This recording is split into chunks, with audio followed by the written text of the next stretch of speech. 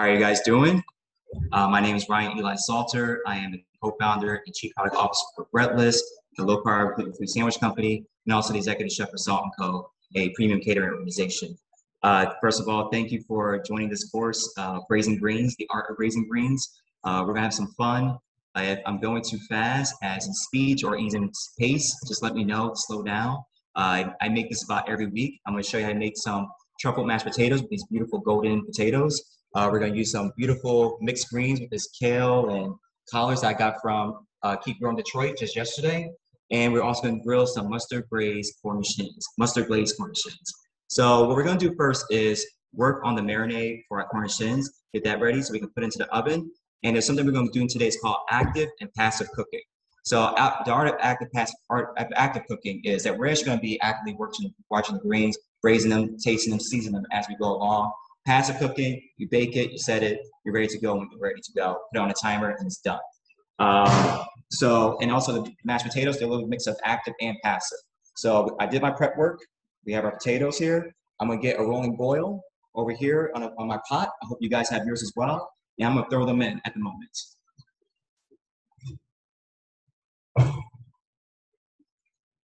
If you're boiling your water, make sure you have a little bit of olive oil and salt.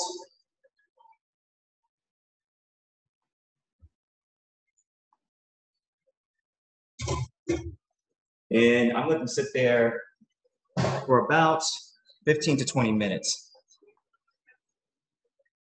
So once that's ready, we sure have the chicken in the oven and we can start working on the greens. And by the time the greens are being in the stove, we can actually pull out the mashed potatoes and start mixing and mashing them as well. All right, so give me one second. I'll be back. I'm gonna bring out the chicken and we'll get that ready. Sweet. Hey, Cindy.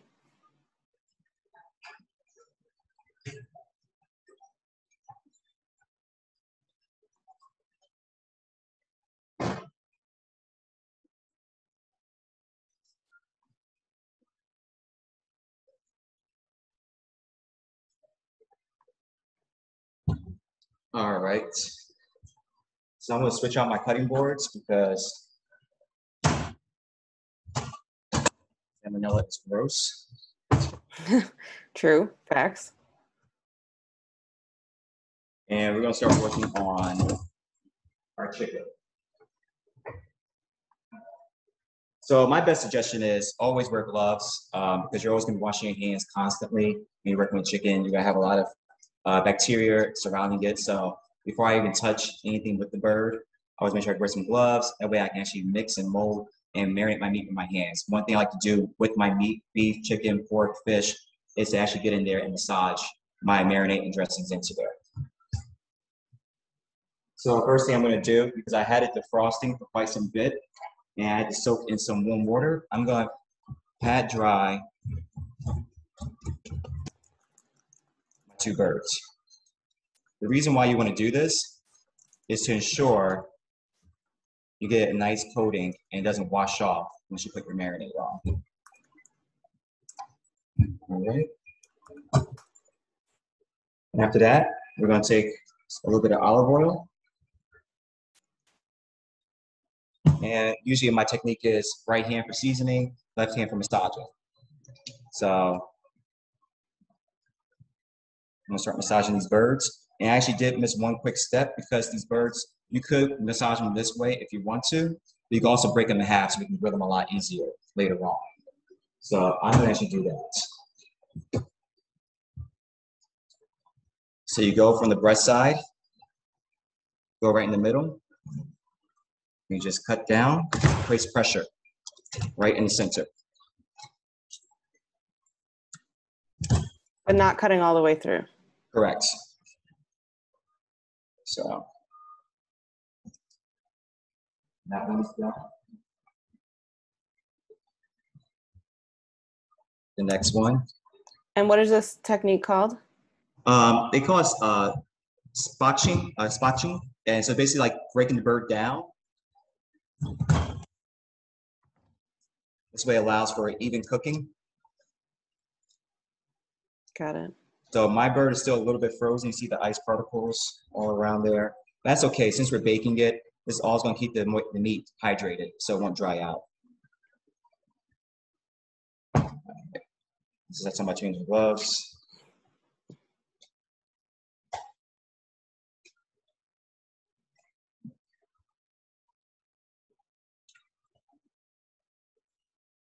I'm going to start with some olive oil, salt, pepper, and paprika. And then we're gonna make the marinade, our mustard, our mustard glaze. And then we're gonna massage that into the chicken and reserve a little bit of it for later on when you want a nice caramelization of color. So folks hopefully everybody's already- ovens are preheated. What's up, Lola? So folks have already had their um, birds marinating, should they? What should they do at this point? At this point, if they're already broken down, I suggest if they're marrying them in the mustard glaze, uh, to put them in the oven right away. Okay, great.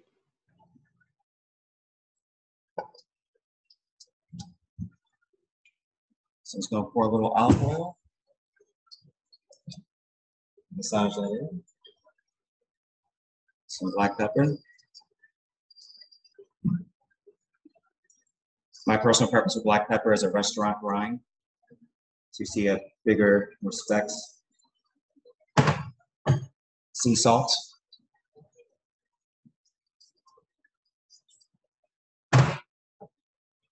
And some paprika.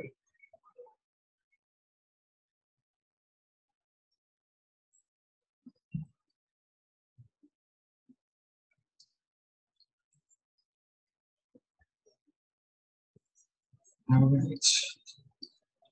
You can see you got a nice little red color. It's gonna be a nice orange hue when we're done with this. And I'm gonna turn it around and do the same thing on the other side. Some black pepper love. Some sea salt affection. A little paprika affection.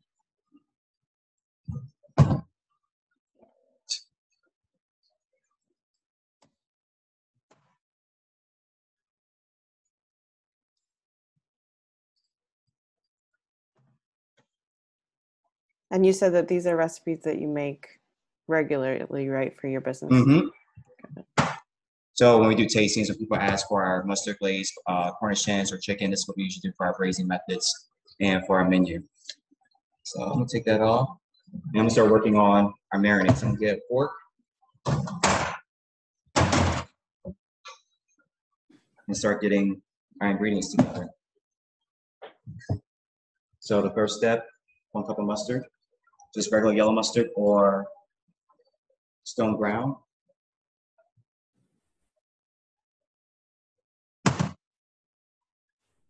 quarter cup of honey. I'm gonna reserve a little bit of it for the greens to help break down the bitterness.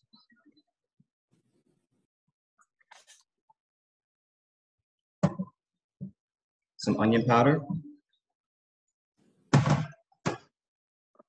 Some garlic powder. Just a little bit of paprika time, not too much. Just get it right there. Dash. And a dash of salt and pepper as well.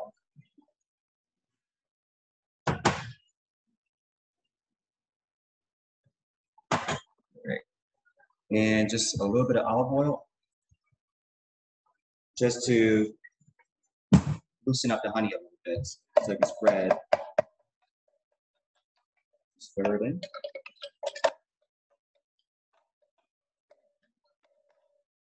Should see that.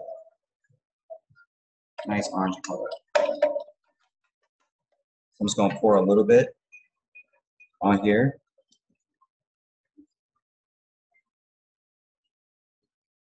on both sides.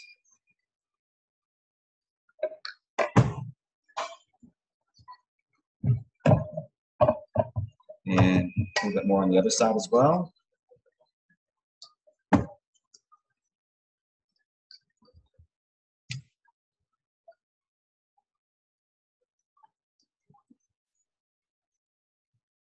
And then we're gonna take our birds and put them in a roasting pan or sheet pan I use a half oil pan. With the split side down. So you want the skin, you want the top back exposed. So just like this.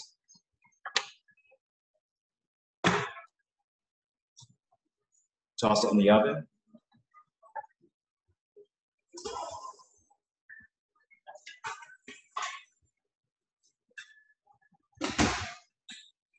I'll set a timer for about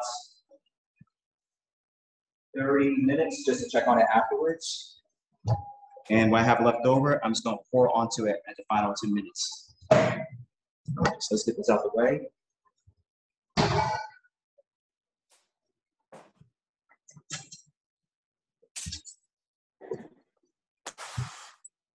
Chicken is the easiest part of this process. Check on your potatoes. One thing I could do is check the tongs, grab them. They're not breaking, you still need time to cook. Should they be past fork tender? Mm-hmm. Okay. You want them as fork tender as possible. That makes it so you can actually cream them when you're mashing them. Okay. Makes it a lot easier. All right. So I guess what we can do is actually start working on the greens. So one thing, I already washed and dried my greens, and we're gonna start slicing them down from the stalk end. So you wanna watch that technique?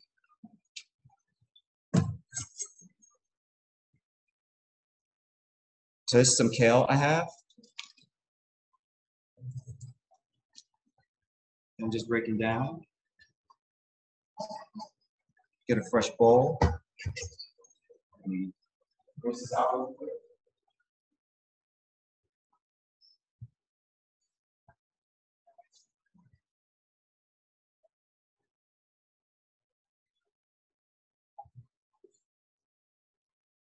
We go.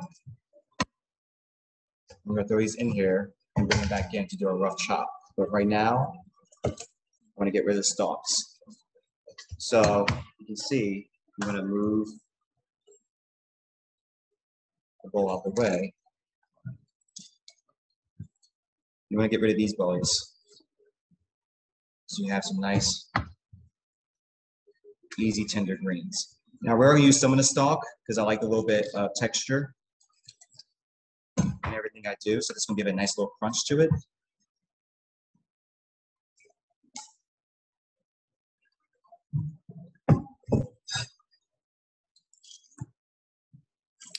And if you want to use your stems, we did a class with uh, Warda from Warda Patisserie in um, Midtown, and she also has a spot in Eastern Market. But I think our cooking class with her is still on our YouTube page. Um, but she did a recipe where she used both carrot greens and kale stalks. Ooh. Yeah, it was amazing. Did she stew them by any chance, or What did you say? did she stew them by any chance, or what was the I-? I don't quite remember. I think it was. I can find out. I can uh, find it. Also, do you ever do like a carrot top pesto? I actually love using carrot greens, uh, especially a little bit of dill. So I've used, uh, I actually use them as a, uh, not as a pesto. I've done it a pesto once. I've done a dill pesto. I mainly use it actually like just cooking and braising them, just like a, as with collards and kale. Uh huh.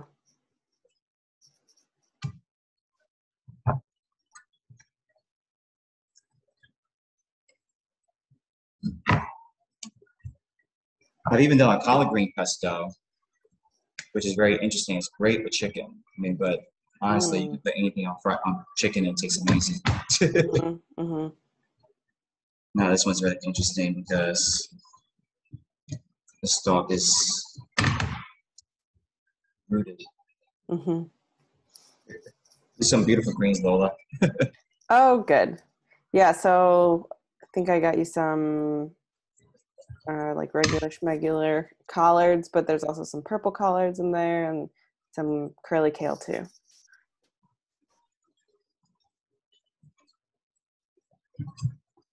And also, I can't remember if we were talking about this the other day, but if you have kale and collards growing at home and you planted them um, this season, and and if they make it through the wintertime, which oftentimes they will, um, they produce these brilliantly yellow flowers um, that are actually delicious. Um, and if you harvest the flowers before they bloom, you can kind of cook them. They look like broccoli rabe, um, and you can saute them like broccoli rabe. Uh, you can roast them.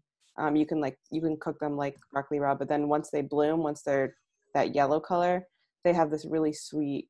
The flowers have this really sweet flavor to them, um, and you can kind of put them to finish off. You can put them on top of dishes to finish them off. I was putting them in like hash, uh, like a breakfast hash, or Mm-hmm. um, anything that like you know decorative flowers might go on.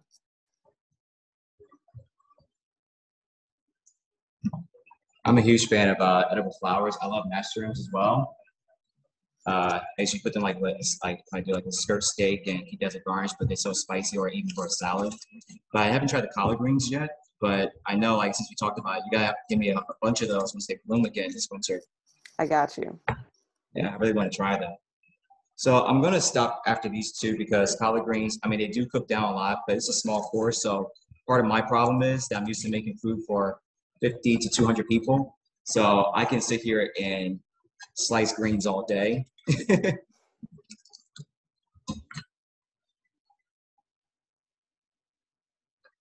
so what I'm going to do with these greens, as you can see, I'm actually layering them on top of one another mainly the collard greens.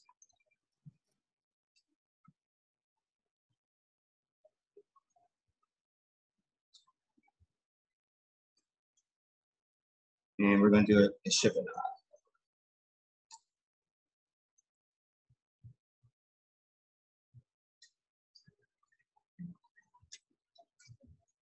I think that's all of them. I'm just gonna take my bunch right here and roll like a burrito or other uh, favorite things.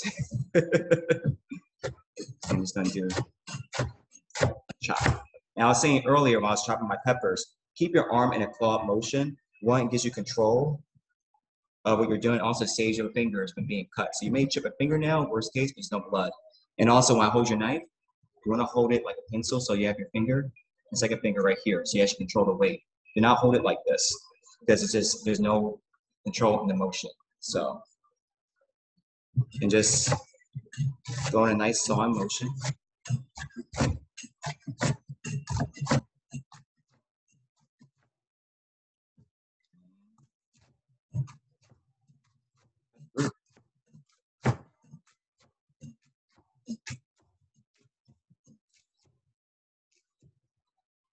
right, and I'm gonna do this again. I'm just gonna kind of break this in half. Because the smaller the greens are, the faster they'll cook.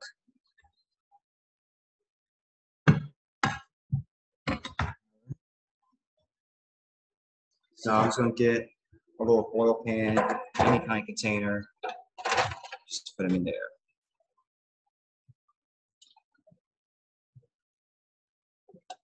And once it's all done, it's probably gonna shrink to, from this amount to about a handful. okay, and then for the kale, I'm gonna bunch them up and just basically do a rough chop. And we're not gonna cook the greens at the same time. So all greens cook differently and at different speeds. So cabbage cooks at a different time frame, kale cooks at a different time frame, and collards. Collards actually take the longest. So it's gonna be about 25 to 30 minutes, make sure they can fully cooked through. Um, but kale literally takes five to 10 minutes. So they break down really fast. So I'm bunching it up. Doing a rough chop. Because they're so cruciferous, they already broken apart itself on different ends.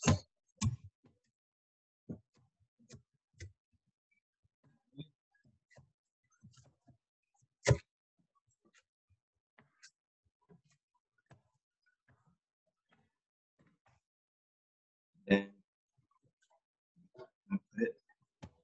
got it.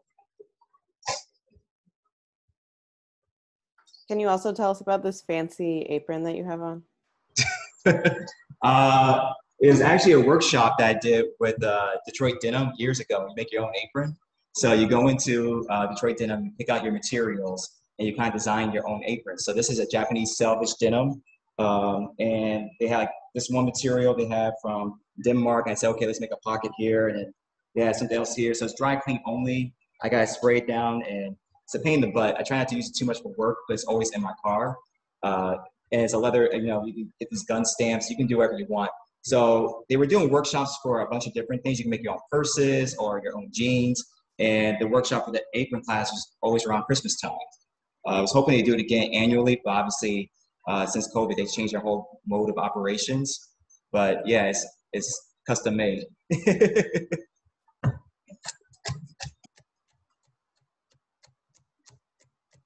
All right, so I'm cutting down these stalks. I'm just gonna take a little bit of this. Again, like I said, I like texture. So we have our peppers, we have our red onions. And I'm gonna put it in the container where I have my collard greens because they do need time to break down.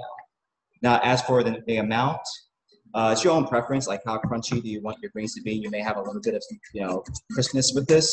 So I'm just gonna use about five stalks. It's a mix of kale and collard stalks.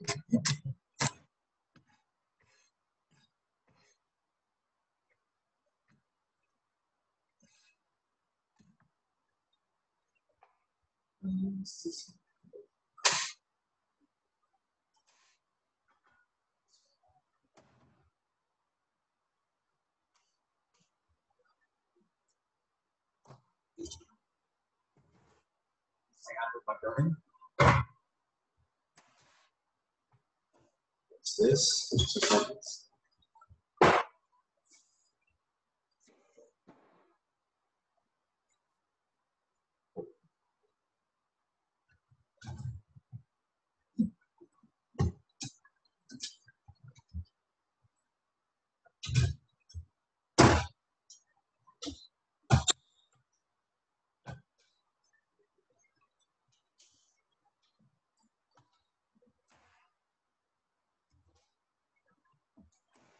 Sorry about that.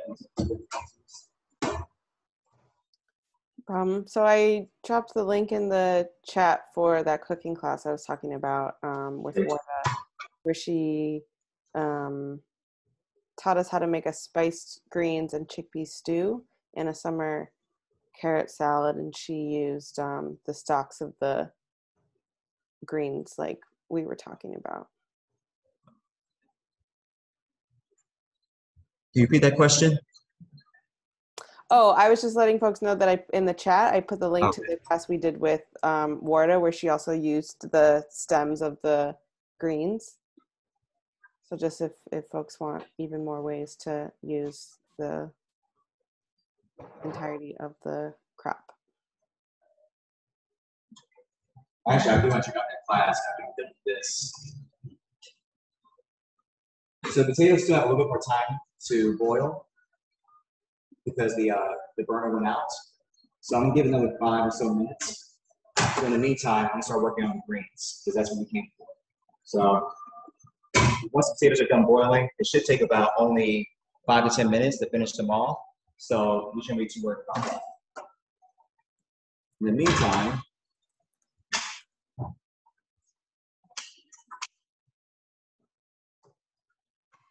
We're gonna pan on medium to high heat.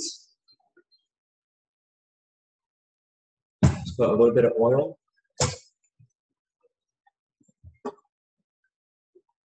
Layer pan, just get heated up. Any other questions while we wait for uh, some things to go through? Yeah, let us know if you're uh, cooking along with Ryan today. this is the best time for questions while everything's actually just getting ready. You know, the main key for I would say uh, cooking, what I've learned is patience. Sometimes we try to rush something. It Mhm. always causes uh, unforeseen circumstances, uh, such as uncooked meat, uh, uncooked greens, and very gritty mashed potatoes. We don't want Sometimes it's best just to that. wait another five minutes and it just works itself out. Yeah. So how do you know? Um, oh, Jennifer is wondering. Oh, when should I plant collard greens if growing by seed? Um, It's a lower push. well, yeah. Ryan, do you want to take this? One? I have a black thumb. Like it's, it's very salty. That's that's real. Um, if you're planting, if you're growing it from seed, you'll just want to plant them a little bit before you would plant the um, transplant. So, I mean, really in like the early spring or um, late summer, I think would be a good time. Um, are you starting the seeds?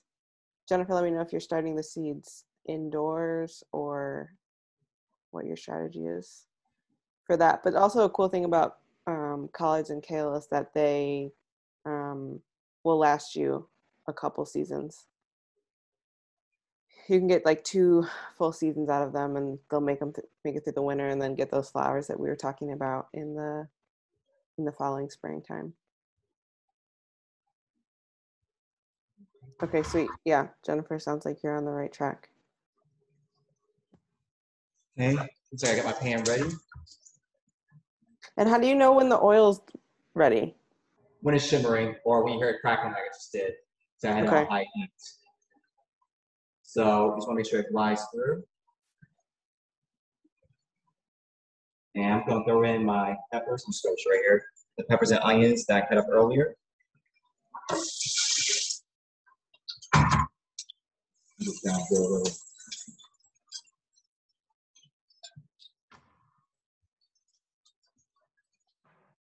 Let them cook down.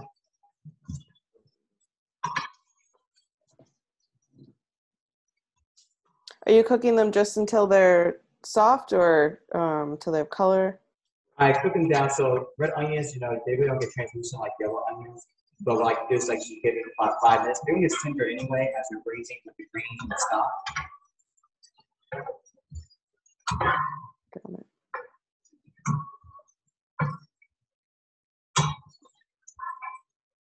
Take that out.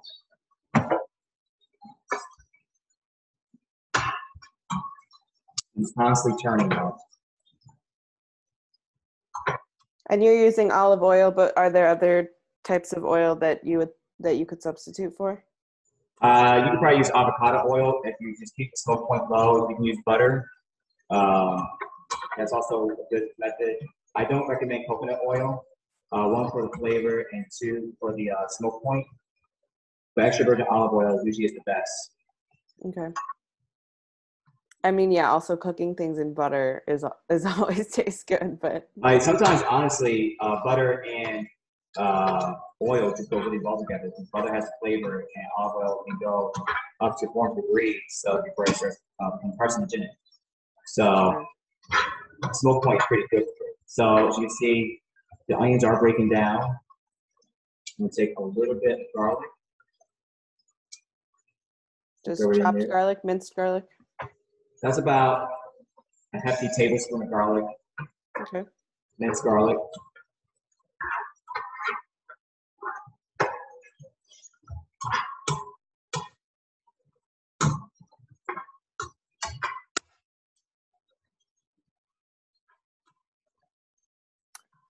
Doing these cooking classes always makes me hungry. One of these days, I'm gonna have to cook with you guys.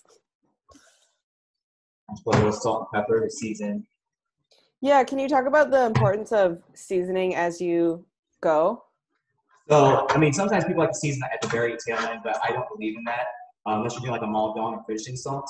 So, as you're seasoning going along, it it definitely incorporates the flavors, and you also get a gauge to how far you want to go along. Is it too salty? Like you want to do it beforehand to gauge and adjust as you need to. Because if it is too salty, you put a little sweetness into it, a little honey, a little sugar. If it's bitter, um, then you obviously adjust it as well. If it's a little bit sour, uh, you can always modify it as you go. So that's the best part about you know tasting your food, especially something like this, when it comes to uh, greens, pepper, fresh vegetables, because they absorb so much of the flavors that you incorporate into it. Okay, so I'm gonna take these collards. I'm gonna throw them in with the stalks. And also, if you, I've heard that if you add, if you only salt at the end, that it can end up like ruining. You actually end up saltier, just because all you taste is like the last bits where you're like where you're incorporating to it. So not really getting the benefits of salt. The, the main benefit of salt and garlic is really just to not just to add flavor to food, but also to enhance the natural components of what you're eating. So if, that's why I also like, you know, um, that's why, uh, sorry, that's what I recommend uh, incorporating salt when you're baking. You know, it actually helps the crust. You actually taste the butteriness of, of the crust itself. Um, garlic itself really brings out the peppers and the umami flavor of that. So as you're working along, you get, get, get a good gauge and good sense as to how things are tasting. So I'm not going to taste the greens yet. What I'm going to do is just turn them out and start lowering the temperature. So right now, I lowered it to medium, medium low.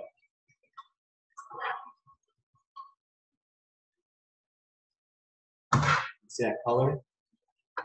Because I'm going to season it again with a little bit of paprika. Some herbs de Provence. Red onions and garlic, as we don't do that. And just working through it. And maybe a little bit of honey, just to help it with the bitterness.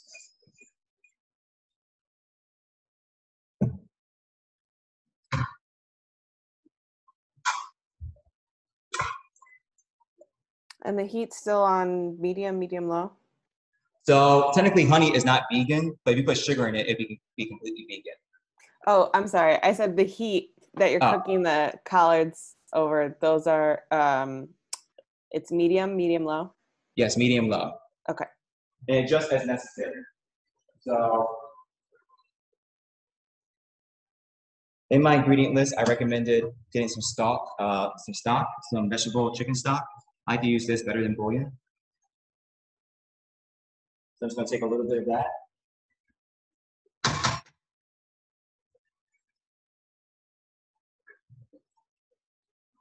Mix it up.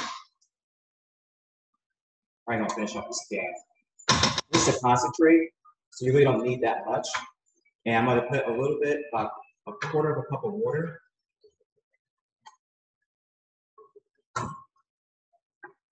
just to help raise it.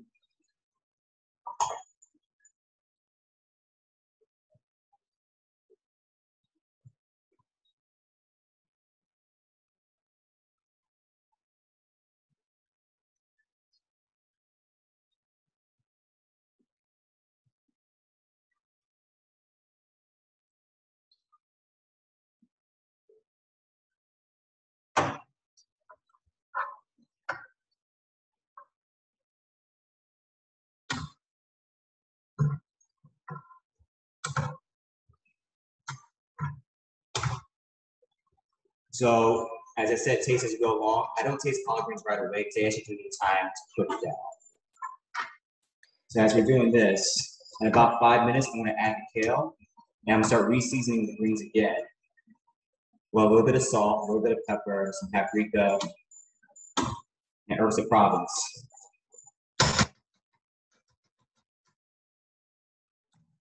All right. Now let's check out problem child. Mm. Are the potatoes coming along?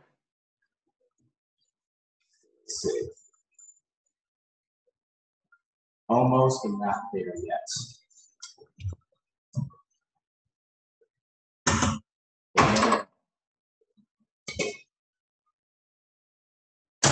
Right. Now check on the chicken.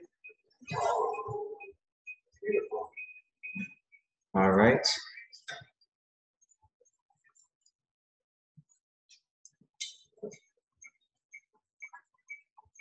All right, so got a nice little color on it. So it's actually caramelization. So you might not need grill marks for this one, with the convection oven, but I'm to actually put a little bit more honey mustard on it and turn it around.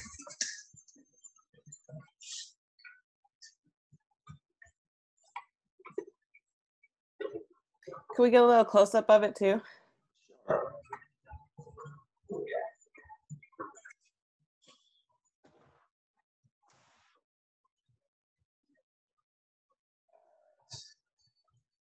So I don't know if you can see that. Yep. There's the bird. Uh, there we go. I'm trying to get the right angle. Yeah, yeah. All right. You see like the, the color, the hues. This other one in the back is actually fully done. So we probably don't need to grill it, but I am gonna grill this, I am gonna grill both on the underside. So I'm gonna let it sit because it's finished. That was fast. Well, 375 uh, without a uh, any covering on it, you know, it's going to tend to cook pretty fast. I'm to let it sit and rest, and I'm to start gauging the temp. I'm just to see if there's any redness or underdoneness, um, and then we can always gauge from there. But once I'm searing it, it can finish cooking through.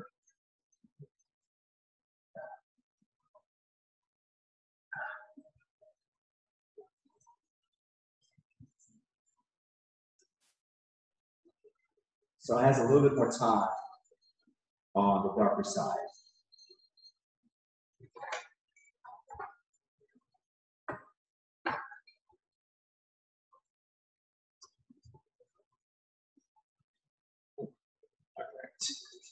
And one mistake I made, you know, we all make mistakes, is that I didn't actually test this uh, convection oven because it actually ran a little bit hotter than I would my oven at home. So it is getting a little more charred.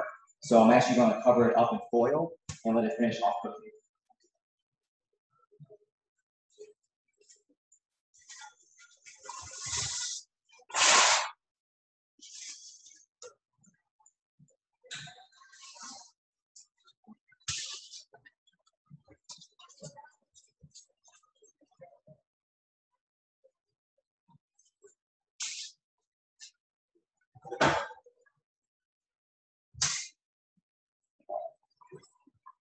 So turn the birds over. Again, and just cover them up.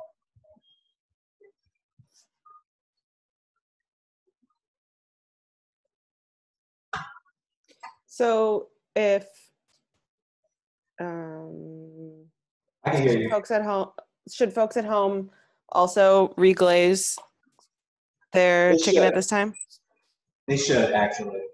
Okay. Um, it's the best time. So I'll cover it back up. And let it finish, let it finish cooking off. Okay. And- and-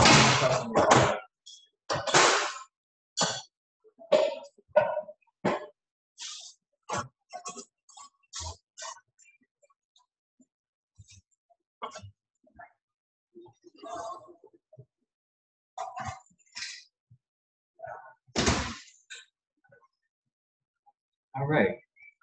So I'm gonna go back to the greens. Ryan, do you also do um, a lot of cooking at home? I do when I have time. Um, unfortunately, these days, not as much as I like. but when I can, I most certainly will. Uh, usually, it's uh, something like on the grill, uh, mashed potatoes, macaroni and cheese. I make actually usually around this time we're getting close to fall. I do love baking, so I usually make a bunch of pies. Uh, Leandra, uh, from Detroit Cider Mill Farm. Like she has a bunch of apples that she wants to borrow. And I usually make a whole bunch of pies, pear pies, blueberry pies, pear and blueberry, apple. And try different like, uh, seasonings and flavors, and just play around with it. hmm What's your favorite like pie crust strategy?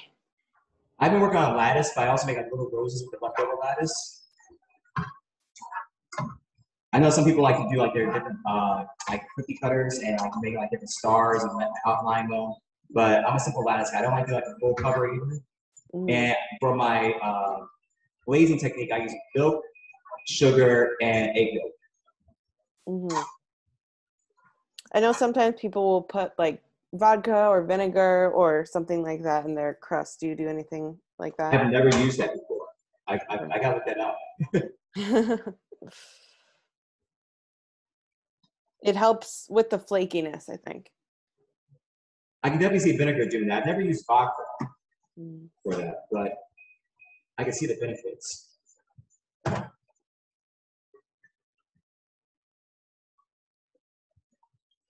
me a second.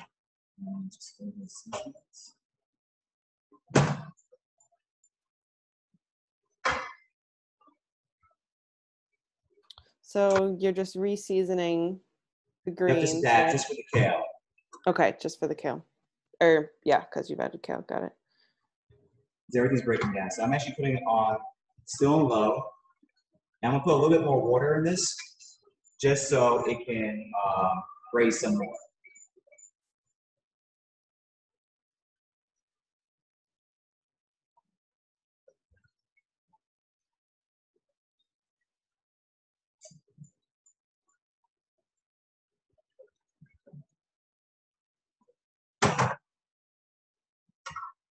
Okay.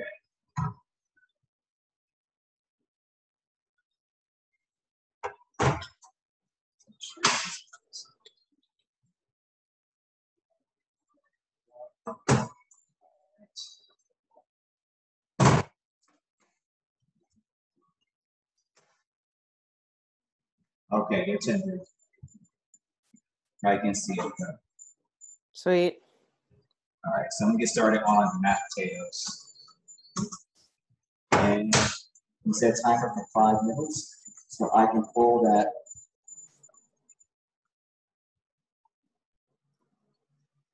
Chicken out.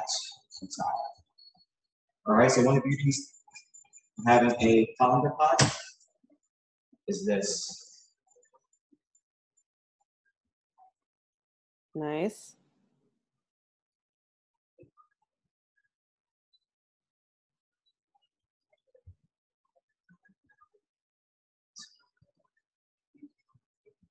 And put this into uh, a half boil pan or a flat pan.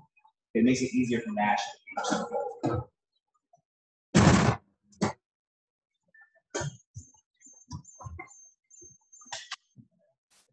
So, as you can see here, they are ready to be mashed. As that's going on, I'm gonna get a sauce pot.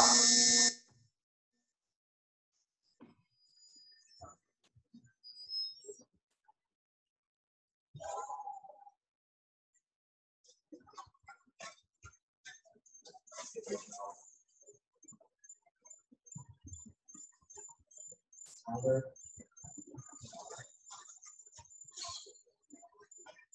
gonna take that out for next second. Let this just stay there for a moment. And we're gonna make our cream for the mashed potatoes.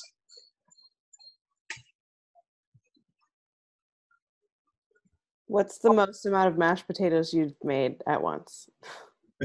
Um, about 70 pounds. Okay.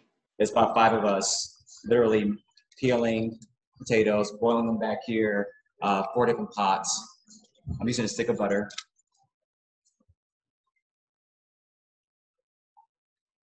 And we're mashing them and whipping them. Uh, even this Saturday, as we go along uh, for this wedding, we're doing about 125 portions of mashed potatoes. So that's about 50 to 60 pounds that we're doing. So I'm using a cup of heavy cream. And the reason why I do is just to gauge, you don't need a full cup, but it helps.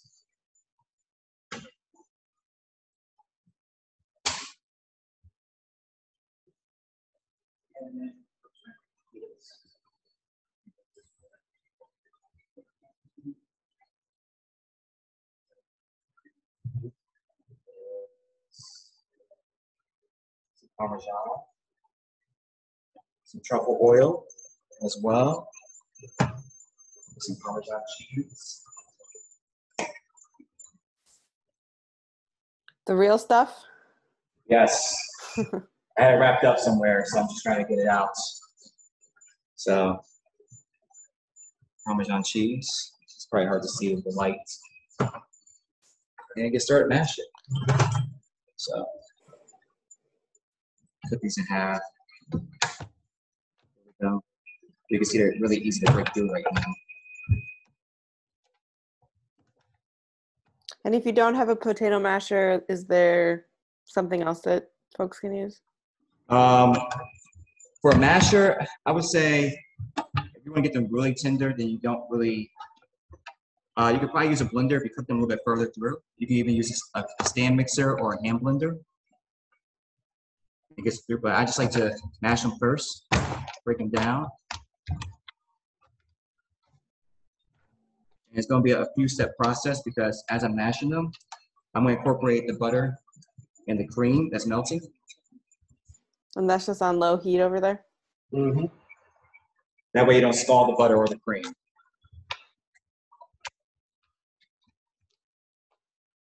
There we go.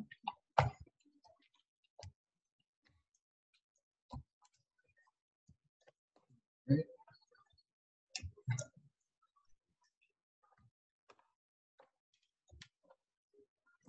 And again, just water them if you need to. Katie's wondering if you added the truffle oil yet.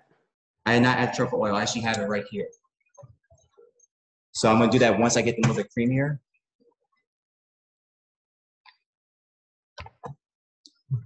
So we haven't seasoned.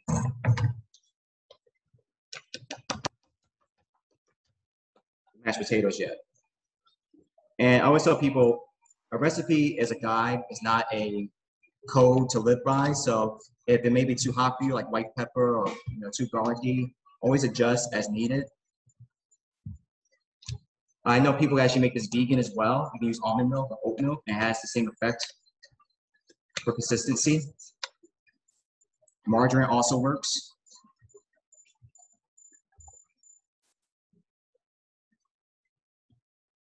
I'm just gonna pour a little bit.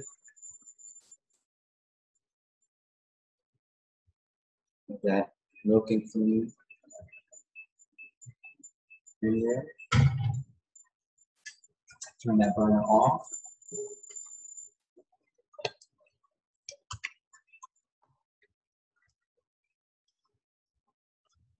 Just mash them off. And that's the butter and the cream. Mm-hmm. And pretty soon we're gonna get our hand blender. Once we've done mashing this to make it a little bit more creamy consistency. Yeah, but as you're talking about like the most amount, we got a large three foot potato masher and we're just mashing like a returning butter, just going like this all day. just doing this. hmm And sometimes that crude method actually works, as you can see, just not worry about aesthetics or how you look, just really. Get in there, little elbow grease, as you can see. Just breaking them down. I'm gonna add a little bit more cream and butter.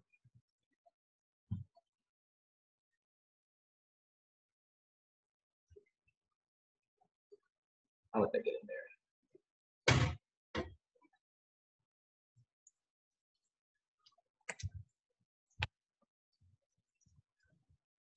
And did you salt the water when you were boiling them? Excuse me? Did you salt the water when you were I did. boiling them? Okay. Yeah, I put a little olive oil as well so they would stick. Okay. You do the same for your pasta. Um, sometimes I like to actually reserve the starch water. Um, it's great for sauces, uh, for especially making like a pasta sauce, or even sometimes for your mashed potatoes. If they're getting a little cold, if you're trying to do something else in the back end, and you leave the needs to like sit there and get cool, uh, throw a little hot starch water in there, and it'll smooth them up as well consistency. It's very effective. As you can see, I'm just getting very smooth texture right now, but still a little lumpy. And that's where we have to whip them. But before we do that, we're gonna start seasoning them a little bit. So, a little bit of salt. And can you remind us where the chicken is at this time? The chicken is actually sitting outside the oven. I took it out, and it's just cooling right now. I didn't want to overcook or burn off. Sure. Because, and that's the only reason why I say that is because this is a commercial convection oven, and they're doing some maintenance with the equipment right now. So it's running a little hotter than it should.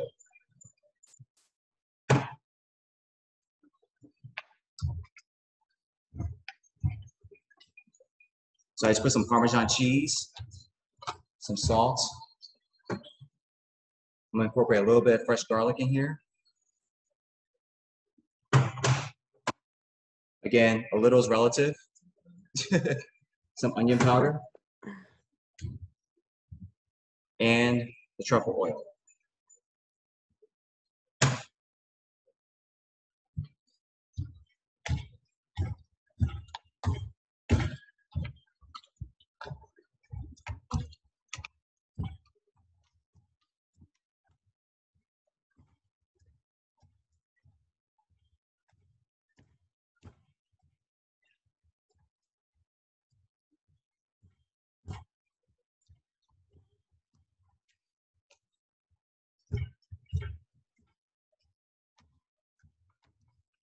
And the best part is, like I said, active and passive cooking, since that's on low, the greens are just braising, they're chilling, they're stewing. They're getting all the flavors in. They're taking a nice little bath. While I'm sitting here slaving away. all right. So we got a nice little consistency. So we can go two routes. I know some people um, don't have an immersion blender, um, but if you have a whisk, and long as it's a steel whisk, you can work with this as well. So this is broken down pretty well. You can honestly just start whipping. Katie's wondering where do you get truffle oil? She wasn't able to find any in uh, Hamtramck. Or So Whole Foods has uh, a nice assortment of truffle oil. I just like Kroger has some in their seasoning aisle. I usually buy mine online, um, or I get it from Restaurant Depot. But Whole Foods um, in Detroit does have it, and also the one in Birmingham.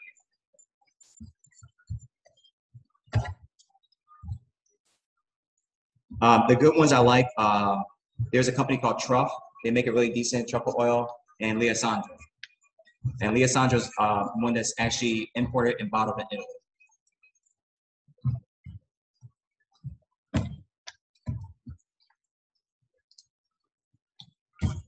You can see I'm just whipping along.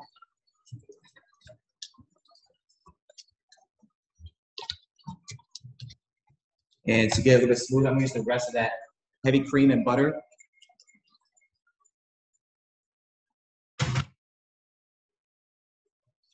Mix it in.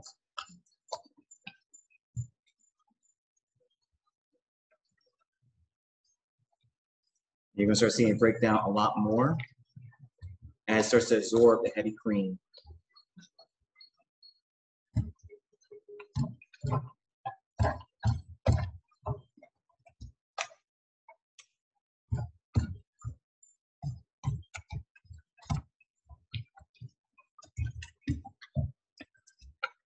Add a little parsley as well, just to start incorporating some of those flavor components.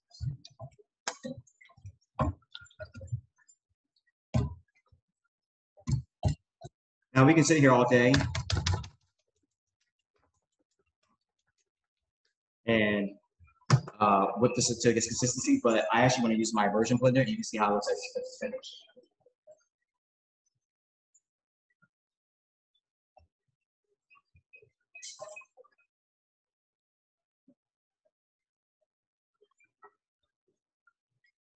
So it's a little Cuisinarts handheld blender.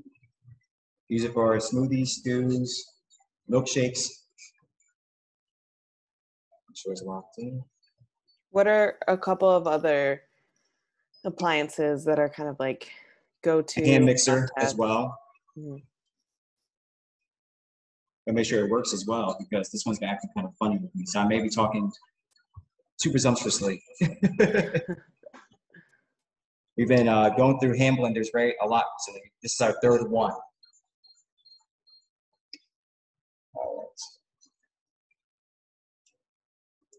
They're And good for turning like soup, like blended puree soups too. Uh huh. Yeah, I use it for soups, stews. Um, like I said, milkshakes is actually great for that. For blended drinks. Oh, oh well. I guess I won't be able to uh, show this because it's not fully charged yet. So it should be. Nope. So it's not doing what I need to do. Oh well. Talk too soon. so I'm back to whipping it. But yeah, you want to get it whipped to the consistency that you like. So I'm just gonna do this. I know we're almost at time.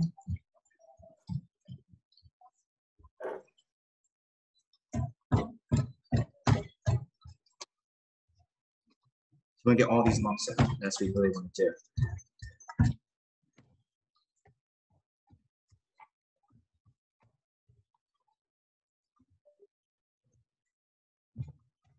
you guys have any questions while I'm just sitting here whipping away?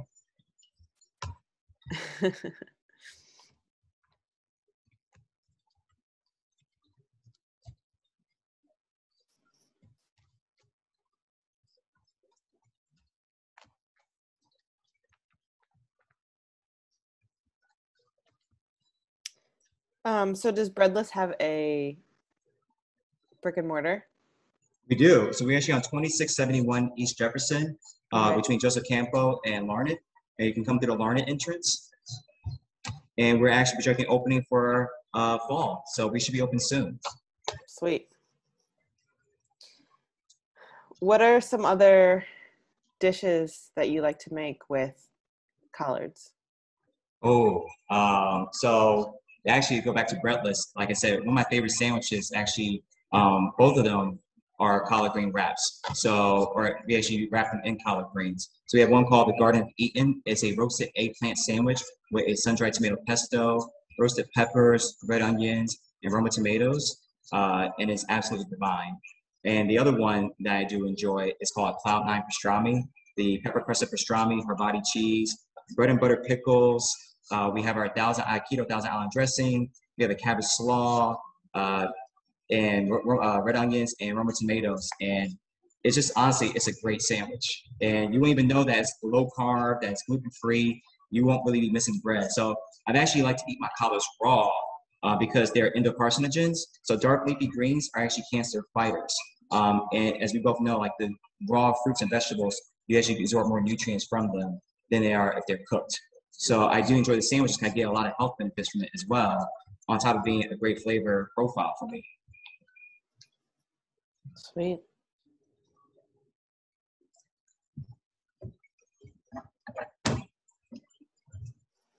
Yeah, we got to get you some of those flowers in the springtime.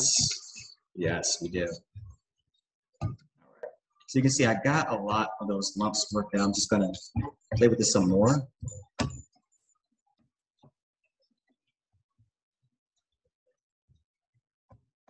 And I'm gonna get a tasting spoon and try it out.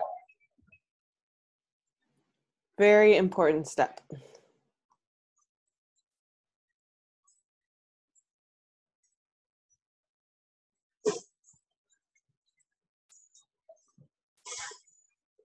So one thing my grandma always taught me, and we do in the kitchen, you don't eat from the tasting spoon directly, just put a little right here. And try it. so it doesn't need salt. Stepping creamy. My recommendation probably be just a little bit of onion powder. It should be fine. I'm not adding more salt to it because the Parmesan cheese is already very salty. Mhm. Did you do a lot of cooking with your grandmother growing up? I, I did, except for holidays. That was her day. She went to cook by herself. As she got older, she let us cook more. So my aunts and myself and um, a few of my uncles, we all get together and just um, all contribute our dishes or help out. So my one aunt, she took over Thanksgiving, and I'm basically her sous chef. um, but I am the carver for the family. So I carve the turkey, I carve the ham, I carve the roast beef, and the prime rib. when I come home, I actually don't cook that much anymore because I cook so much outside. Um, for her, I'll make my short ribs. I'll do the mashed potatoes. Um, I make my greens for her. It's funny because she told me the other day she never put peppers or onions in her greens. And I'm let these greens sit off, turn the burner off because I think they're done. And again, I'm just gonna get a little tasting dish. Try them out. see how they taste. All right.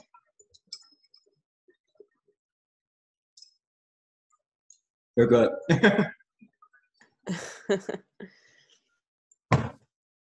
Good balance of flavors and all that. Good texture. it's, it has texture, it has crunch to it because the stalks, it has the pepper. It's really good. If anything, I can make it probably a little bit sweeter. I can probably do like a pot liquor, which means like you put more liquid to braise more, so you kind of just drink the stew. But I actually like my greens to kind of cook off, as you see here, and save that stew off so it's actually a little bit drier. But it's also easier to eat, so it's not as messy. So I'm gonna do two things. I'm gonna get this grill pan ready, and we're gonna sear that parsnip and plates and be done. So I'm gonna move this out of the way. Hey, so uh, Irma is wondering what's the address so she can swing by and grab a plate. Um, so for and Co, we do all catering, so you can always put an order in. For Breadless, the address is 2671 East Jefferson in Detroit. Uh, we're in the Rivertown district, right across from Borden's, and also across from the Martin Building, if you recall that landmark. That's great, but they they mean that they want they want some of what you're making. Yeah, right I now. mean, I'm right now. I'm at Tim Tim and Tatum. If you come by, please do. I mean, I'm not doing this by myself. so I'm just gonna put a little oil on the grill pan and just get it nice and hot. So I put on medium high heat. So it should take like two minutes. The sear should only take about three to five minutes because this one's a little bit charred, not overcooked, but because the skin itself was a little bit caramelized more than I like it to because the convection oven. I'm only gonna sear it very briefly on the underside so you can see how the grill marks are forming. And while that's heating up, I'm just gonna start keep whipping away. But yeah, I'm down, I'm right in downtown Detroit right now. If you're in the area, uh, please shoot me a message. Uh, Instagrams at the Bachelor Chef or at Salt and Ko. S A L T A N D K O, and I will gladly give you a platter to take home with you. If not, I'm giving to the people here. Anthony Adams actually right now giving a speech uh, next door, who's running for mayor. Very nice.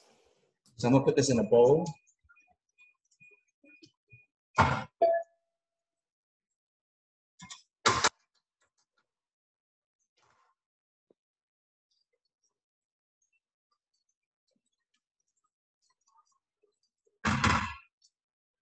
So we have our greens. That looks great. They're just gonna sit here, enjoy the accomplishments. And I'm gonna get ready to work on this Cornish hen. All right, so once the pan is on high, high heat, I gotta high heat the grill pan, I'm moving it to medium high.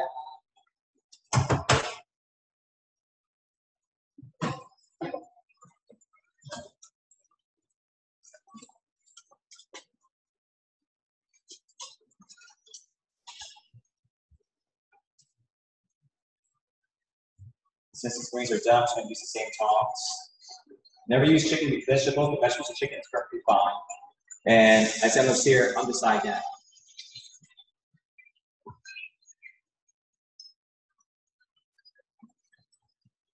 And then reduce the heat to medium.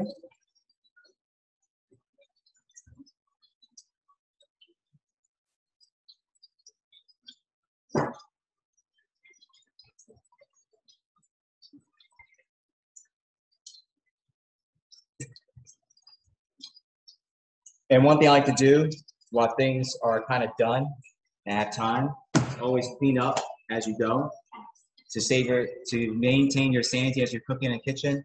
Please clean up as you go. Granted, just for demonstration, I wouldn't have all this. I would have all my um, containers and just dash away and put them back in the cabinet. But always clean up as you go. If you see there's dishes, just move along. I try to do like a trail, a little pail like this, and just throw everything in there. Pro tip. It really does make all the difference. It's easier to enjoy your meal when It you're not looking at a pile of of uh, of dishes. Or if you bring somebody over, you tell them to uh, clean up while you cook. Yeah. There you go. You feed your friends, they take care of you.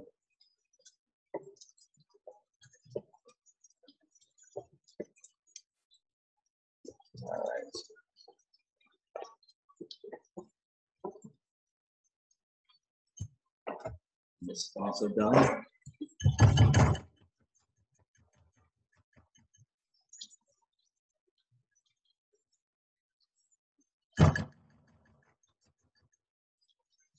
There we go. Mashed potatoes. Those look great. here. And we'll spend some time on this. There we go. You see the grill marks? Maybe you can't. Let me move that up. Can you see that? Yep. And so is the grilling, it's just like sealing in the, Sealing in the juices. okay. The marinade, everything we've done so far. And one thing, one reason why I love Cornish game hens is that you kind of get uh, the best of both worlds. If you like chicken breast, if you like dark meat, you're getting it all. But the thing is, the chicken breast isn't as dry as you put it on larger bird. So it's not as, uh, it's a bit easier. As that's because it's a gamier bird. So this puppy's done. And then I'm going to put this other one in.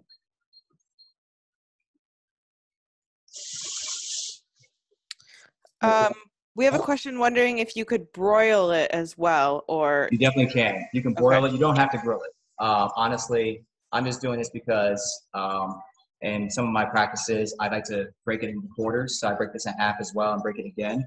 And I just grill them off to sear it, um, especially if I already pre-cooked them or par-cooked them. And I'm kind of more or less reheating them. But you can actually, once you take them out the oven, they're actually done as is. This is just an extra step. Boiling, grilling, marking them. Um, any finishing technique you want to do, go for it. sweet.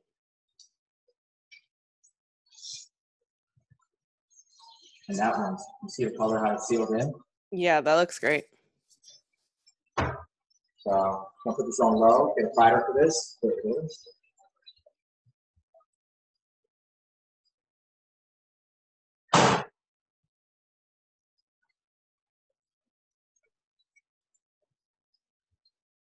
If you're wondering where I get platters from or I find different things, um, Home Goods, TJ Maxx, Mhm. they're always great suggestions.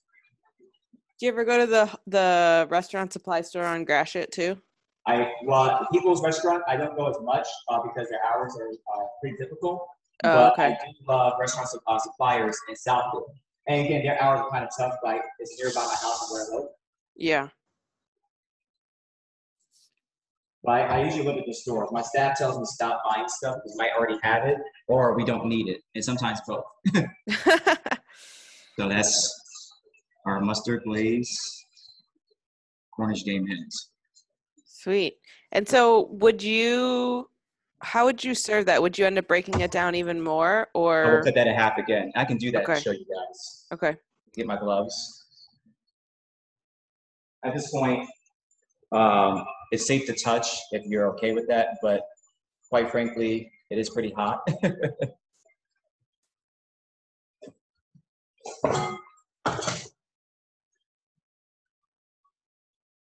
I even use gloves at home. I'm working with chicken, even for myself. Mhm. Again, like I said, I don't like washing my hands constantly while I'm touching the birds. I just throw the gloves off, rinse them off, wash them, but not worry about all the juices and everything Right. taking over. So I'm just gonna break this bird down. So the same side when you cut in halfway, we're gonna go all the way now.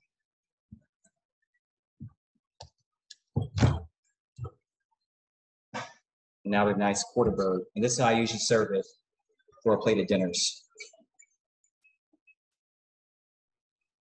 Quarter bird, and just trim it. There you go. Me put that down. There.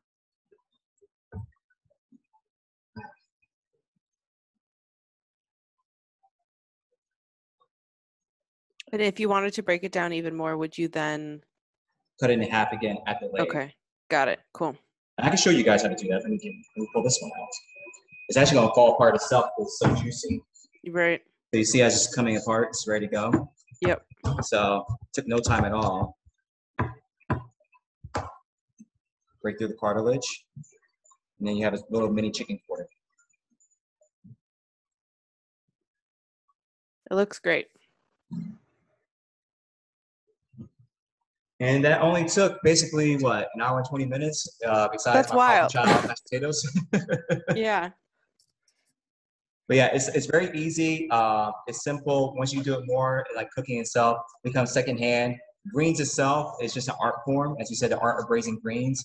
Uh, once you get the components down, you see it's just very natural. Um, but the real technique is just cutting them down. Uh, it saves a lot of cooking time. A lot of times when you see people doing pot greens, they have big uh, big meaty or leafy uh, pieces, and they take forever to sit down. But when you get like nice thin strips, it only takes about 20 to 25 minutes.